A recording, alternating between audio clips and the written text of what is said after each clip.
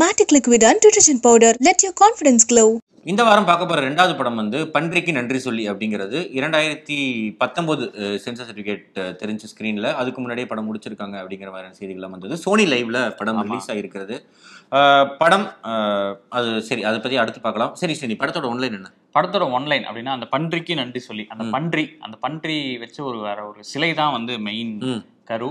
சீனாவில் இருந்த அந்த சிலை வந்து ஒரு எல்லாராலும் தேடப்படுற அதாவது இந்த குற்றவாளிகள் திருடர்கள் இந்த மாதிரி நம்ம சதுரங்க வெட்டி டீம் மாதிரி ஒரு டீம் இருப்பாங்கல்ல அவங்க வந்து தேடுற ஒரு பொருளா அந்த இது வந்து ரொம்ப வருடங்களா இருக்கு. ரொம்ப தசாப்தங்களா ம். அந்த பன்றி சிலை வந்து இருக்கு.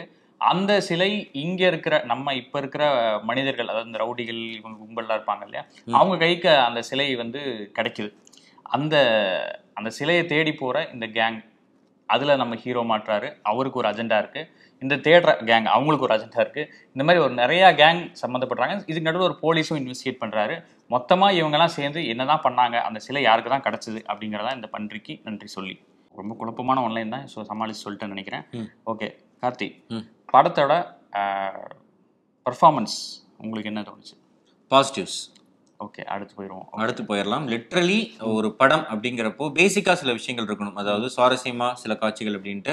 சுவாரஸ்யமா அங்கங்க ஒரு ரெண்டு மூணு சின்ன சின்ன கேரக்டர் வந்து சுவாரஸ்யமா பேசுறாங்க. ரெண்டு மூணு ஒன்லைன்ஸ் நல்லா இருந்துச்சு. லைக் ஒரு போலீஸ் ஆஃபீஸர் துப்பாக்கி வச்சு மிரட்டிட்டு இருப்பாரு. அந்த சீன்ல சார் அவர் எட்டுக்கு அப்புறம் ஒன்பதே சொல்லலாம் சார் அப்படிங்கிறோம். அந்த மாதிரி ஒரு ரெண்டு மூணு காமெடி மட்டும்தான் ஓரளவு ஓகே இருந்த விஷயங்கள். மற்றபடி பெர்ஃபார்மன்ஸஸாக எதுவுமே சிறப்பாக இல்லை. ஏன்னா ஒரு படத்தில் நம்ம ஏதோ ஒரு விஷயம் எக்ஸ்பெக்ட் பண்ணுவோம்ல. ஏதோ ஒரு ஸ்பார்க் இருந்துராதா அப்படின்ட்டு. ஏன் இப் ஏன் இவ்வளவு பட்ஜெட் பிரச்சனையா இல்லை என்ன பிரச்சனை அப்படின்னு தெரியல. படத்தில் நிறைய விஷயங்கள் ரொம்பவே அமைச்சரிசா எடுக்கப்பட்டிருக்கு. படம் பார்க்குறப்பே தோணுச்சு. ரெண்டு மூணு காட்சிகள் வந்து ரிப்பீட்டட் ஷாட்ஸ் எல்லாம் வர ஆரம்பிச்சிச்சு. எப்படி இதெல்லாம் மிஸ் பண்ணுறீங்க அப்படிங்கிற மாதிரி தான் இருக்குது படத்தோட பாசிட்டிவ்ஸ் இல்லை இந்த படத்தில் சில விஷயங்கள் நல்லா இருக்கு அப்படின்னா பாடல்கள் ரொம்ப ஜாலியா ட்ரை பண்ணியிருக்காங்க. எந்த பாட்டுமே வந்து ரொம்ப எப்படி சொல்றது ஒரு கவித்துவமா எழுதுறான் இல்லை இப்படி எழுதுறாங்க வைக்காம பண்டிகை நன்றி செல்வி அப்படின்னு ஒரு பாடல் அதே மாதிரி கள்ளக்கண்ட நாயக்கண்ணன் ஒரு பாட்டுன்னு எல்லா பாட்டுமே ரொம்ப ஜாலியா எழுதியிருந்தாங்க. ஸோ பாடல்கள் எல்லாமே கேட்க ஒரு புது எஃபோர்ட்டா இருந்துச்சு. ஸோ அந்த வகையில் எனக்கு பாடல்கள் பிடிச்சிருந்துச்சு இந்த படம் எனக்கு வந்து என்ன பாசிட்டிவா தோணுச்சுன்னா அந்த ஃபர்ஸ்ட் வர அந்த ஒரு போர்ஷன் இருக்கு இல்லையா அந்த ஒரு ப்ரீக்வல் மாதிரி ஒரு ஒரு ப்ரீஃபேஸ்னு சொல்லுவாங்க புக்ல எல்லாம். அந்த மாதிரி ஒரு போர்ஷன் வருது. இந்த இந்த பன்னி பன்றி சிலையை பத்தின ஒரு இன்ட்ரோ அதுக்கான ஒரு மெனக்கெடல் அந்த புராணம் மாதிரியான ஒரு கதை அதை வச்சு ஒரு அனிமேஷன் மாதிரி பண்ணது. அந்த நாட் அந்த அந்த பன்றி சிலை பத்தி சொல்ற கதை அதெல்லாமே நல்லா இருந்துச்சு. போக போக அந்த நமக்கும் ஒரு ஆர்வம் வந்துச்சு.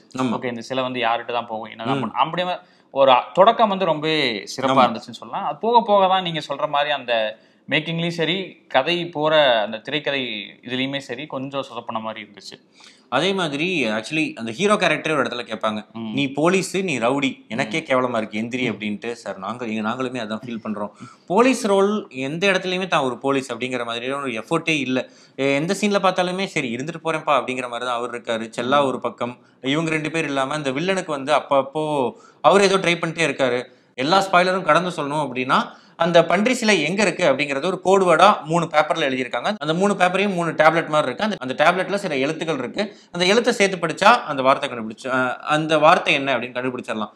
இதுக்கு அந்த டேப்லெட்டை கண்டுபிடிக்கணும்னு ஒரு லாஜிக் வச்சிருக்காங்க. டேப்லெட் ஏன் கண்டுபிடிக்கணும்னு தெரியல. நம்ம யோசிக்க ஆரம்பிச்சோம் அப்படின்னா இந்த படம் ஒரு ரெண்டு மணி நேரம் அப்படின்னா படத்துல இருக்கிற பிரச்சனைகள் அப்படிங்கறது ஒரு நாலு மணி நேரம் பேச முடியும். டாம் டாப் டென் மூவிஸ்னு டிவில எல்லாம் போடுவாங்க. சுரேஷ் ஒருத்தர் உட்காந்து சொல்லிட்டு இருப்பாரு. பன்றிக்கு நன்றி சொல்லி சொல்லாமல் இருந்திருக்கலாம். அந்த மாதிரி தான் ஆமா. இருந்துச்சு எனக்கு என்னன்னா அந்த திரைக்கதை இப்போ பேட்டர்ன்லயும் வந்து என்ன குழப்பம் வந்துச்சுன்னா ஒரு சில காட்சிகள் வந்து நமக்கு சுவாரஸ்யம் வரணும் பண்ணாங்களா இல்லை என்னன்னு தெரியல.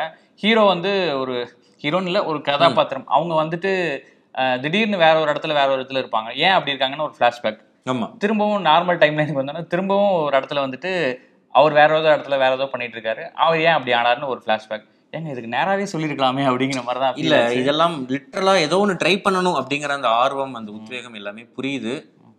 Still it was not convincing really sorry still ஒரு நல்ல அட்டம் கண்டிப்பாக அடுத்த படத்தில் கொடுப்பாங்க அப்படின்னு நம்புவோம். ஏன்னா எல்லாத்துக்குமே ஒரு செகண்ட் சான்சஸ் லைஃப்பில் இருக்குது எல்லாத்துக்குமே ஒரு செகண்ட் சான்சஸ் இருக்குது அப்படிங்கிறப்போ கண்டிப்பாக அடுத்த படத்தில் இவங்க எல்லாருமே இன்னுமே ஒரு ப்ராமிசிங்கான எஃபோர்ட் கொடுப்பாங்க அப்படின்னு நம்புவோம். பட் இந்த படம் ரொம்பவே ஒரு டைட்டில் இருந்து ட்ரெய்லர் கூட பிடிச்சிருந்துச்சு. பட் படம் ரொம்ப ரொம்ப பிலோ தி மார்க்காக தான் இருக்குது நன்றி.